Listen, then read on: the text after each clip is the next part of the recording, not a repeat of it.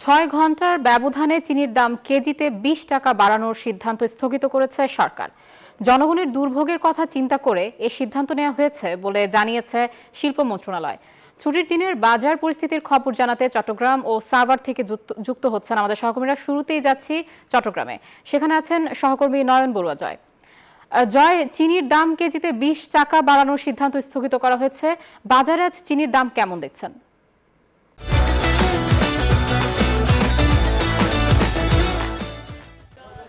ধন্যবাদ আইসা আপনাকে। আপনি যথার্থই বলছেন যে যেখানে চিনির দাম বছর জুড়ে, তেমনি ভাবে কিন্তু আমরা দেখেছি, কিন্তু রমজানের ঠিক আগ মুহূর্তে গতকাল যে ঘোষণা এসেছিল চিনির দাম কেজিতে আরও বিশ টাকা করে বাড়িয়ে দেওয়ার তবে সেই ঘোষণা প্রত্যাহার করেছে বলে আমরা জানতে পেরেছি।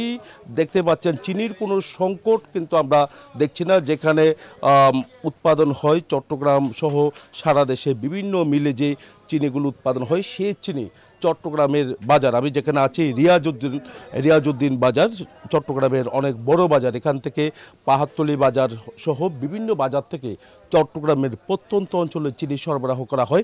তবে চিনির দাম এখনও পর্যন্ত খুচরা বাজারগুলোতে, পাইকারি বাজারগুলোতে তো আগে যে দামে বিক্রি করতো, সে দামে তারা বিক্রি করছে বলে আমাদেরকে জানিয়েছেন। আমি একটু কথা বলতে চাচ্ছি চিনি বিক্রি একশো আটত্রিশ টাকা আগের রেটে আছে।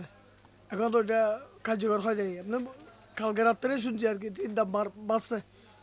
এখন আপনার তো এটা এখনও আনি নাই, বেশি নেই। আগের রেটে বেচতেছি।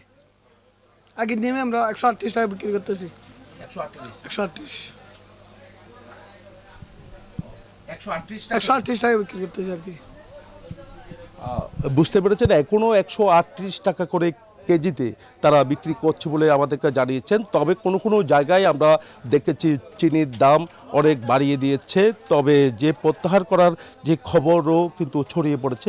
এই কারণে যারা গতকাল বেশি দামে বিক্রি করেছে তারা আবার আজকের বাজার আমরা দেখছি কিছুটা কম দামে তারা বিক্রি করছে। তবে কোনো কোনো প্রত্যন্ত অঞ্চলে এখনও পর্যন্ত চিনির দাম যে কালকে ঘোষণার পর থেকেই যেভাবে হু হু করে চিনির দাম বাড়তে শুরু করেছে, অনেক জায়গায় কিন্তু বাড়তি দামে তারা বিক্রি করছে বলে আমাদেরকে জানিয়েছেন। এই ছিল আমার এখানকার সর্বশেষ, ফিরে যাচ্ছি স্টুডিওতে আয়েশার কাছে।